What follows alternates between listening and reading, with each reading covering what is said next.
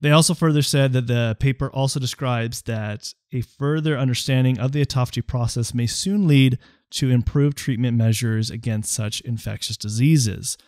So it's nice to kind of see that, sure, the research isn't quite up to par as far as understanding how autophagy tackles infections, but they're also seeing that autophagy possibly might be a way to utilize to use as a treatment option. What's up, fasters? Dr. LeGrand here, here for another fasting video. If you are new here and if you want to know more about fasting and also about natural medicine, other health tips, every Tuesday and Thursday, every week, we post at 5 p.m. Pacific Standard Time every Tuesday and Thursday. So if you are new, go ahead and hit that subscribe button, hit the notification bell so you don't miss out on any other future videos. So today we're going to talk about how autophagy or if autophagy can reduce infections or even prevent against infections. The first thing that we need to discuss about is what are the different types of infections that our body can get. So there's five main types. You have, of course, the bacterial infections, viruses, which are your two most common ones. You also have uh, fungus infections, as well as uh, parasites and protozoa types of infections. Those are not as common, so I'm going to kind of discuss a little bit more in the bacterial and also virus. Now, as far as when we look at conventional medicine, whenever you do get a bacterial infection, we tend to go towards and get some antibiotics. That's the most common treatment. When you go and see your physician, they'll give you some antibiotics to get rid of the infection. The problem with that is over time is that the reason why you have to be careful with doing a series of lots of different antibiotics is that your body can be um, adapted immune to it, and you have to do different strands of different antibiotics that can become an issue where you become your body becomes resistant. And this is where you do have to be careful, and that's why a lot of times it's best to kind of see what kind of infections that you do, and that's why the doctors will run different labs to to kind of hone down what kind of infection that you're dealing with because if it's a viral infection, antibiotics are not really going to do anything for you. Now, there is different other medications that you can use for viral infections, but they're a little bit more scarce when it comes to viral infections. And this is where I think autophagy really kind of shines, where it can benefit our body of attacking and preventing against viral infections, but of course, of the other infections as well. Now, there's been a lot of research out there with autophagy when autophagy is not activated or is not working as efficiently when we get older, is they find a connection that we tend to be more prone to infections because autophagy does help regulate and break down infectious cells and diseases and kind of renewing things for us, especially renewing our immune system, which is a video I've talked about before as well.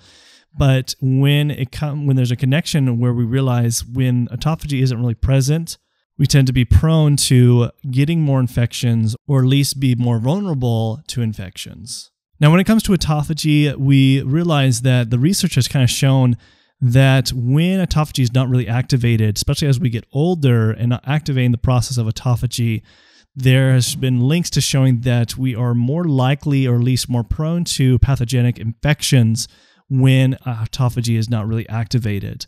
So this kind of kind of starts lead way to realize that autophagy is important when we're having to fight against infections. So as I mentioned before, autophagy is a great option when it comes to viral infections, but I wanted to dive into the research that's out there as far as when it comes to autophagy and infections. So first starting off with the first research article, uh, there's one study that describes that the specific mechanisms are still to be studied whether or not the activation of autophagy during a viral infection is beneficial or not should be established. At this moment, uh, however, the study did find a beneficial associated between autophagy activation and certain types of arboviruses. So, kind of setting that precedence is that there's still research being done as far as when specifically looking at viruses in autophagy. They found certain specific viruses can be beneficial, but not all. But again, looking at autophagy as an option, especially using fasting to induce autophagy to help for viral infections. The next study I want to kind of discuss here is that uh, a scientific paper published in the uh, Dove Press Journal of Immunotargets and Therapy explains that the main role of autophagy in terms of microbial infections is related to the effects that the process has on the immune function. Autophagy has also been shown to provide significant improvements in the immune health, which in turn helps to add to overall defenses that the human body has when pathogenic microbes become present. So, really, kind of seeing that if autophagy can help with our immune system, boosting our immune system, of course, that's going to help with any kind of types of infections.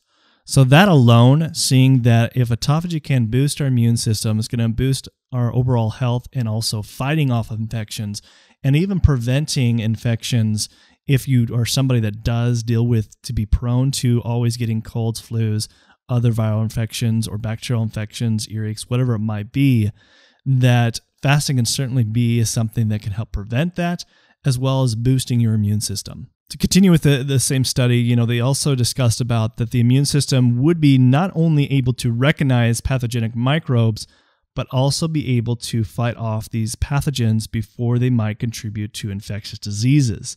This means that autophagy does not only play a possible role in the active infections, but could be useful as a preventative strategy. So, what I already just talked about is that they found this also to be a preventative measure when activating autophagy because of activating and boosting the immune system and also renewing the immune system.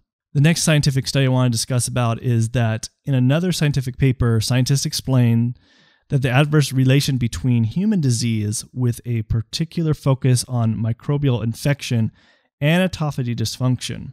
So, just looking at that alone really is showing that when there's a dysfunction in autophagy, there seems to be more prevalence of microbial infections going on in the body when autophagy is dysfunctioned.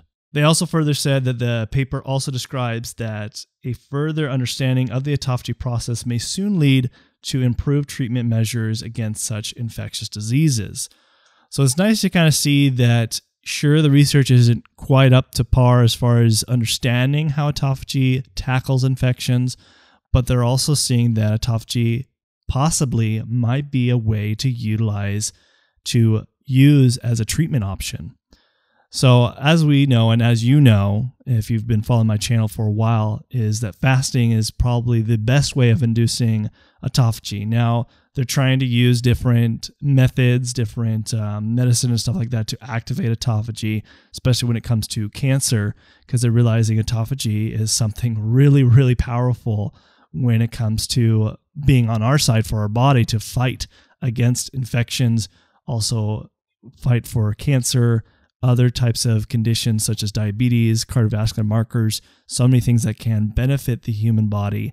But as we know, fasting is probably one of the best ways of inducing autophagy. And that's why really you should be considering it if you've not been if you've been following me for a while and been kind of contemplating about doing fasting, you really should consider implementing at least some intermittent fasting to kind of get on the bandwagon of the benefits of autophagy, especially if you deal with a really crappy immune system and you tend to be prone to infections. You might want to do something like this to activate autophagy so that it can prevent from getting any further infections or at least get it to a point where you're not having to be sick as often throughout the year to be able to kind of make your body be a little bit more built to fight against any kind of invasive infections that come our way every year. So I hope you guys found this beneficial. If you like this video, give us a big thumbs up and share with somebody who really would benefit from this, who might be dealing with really poor immune system or deal with infections all the time. They might need to hear this, so go ahead and share that with them. And if you are new here, go ahead and hit the subscribe button right here. And also check out our other playlist right here that you could check out of our other fasting videos. And as always, this is Dr. Legrand signing out, and I will see you in the next video. Thanks. Bye.